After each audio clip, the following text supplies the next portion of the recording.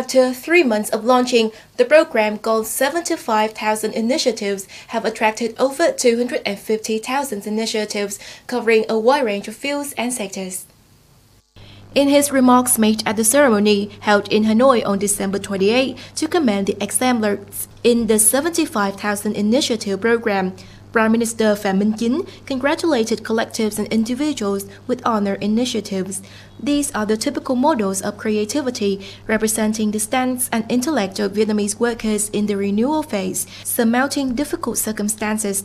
The Prime Minister underscored that with the emergence of COVID-19 pandemic in the past two years, all levels of trade unions have accompanied the government and authorities, shared with businesses and taken care of laborers' lives.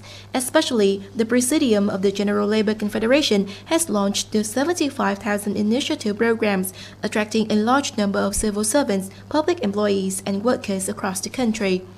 At the ceremony, the Prime Minister and leader of the Vietnam General Confederation of Labor conferred the Creative Labor Certificates to 128 initiative authors, merit certificates of the General Labor Confederation to 183 initiative authors, and seven collectives with the most initiatives. One author in Cần Thơ City was awarded the Creative Labor Certificate and other three authors received the merit certificates of the General Labor Confederation.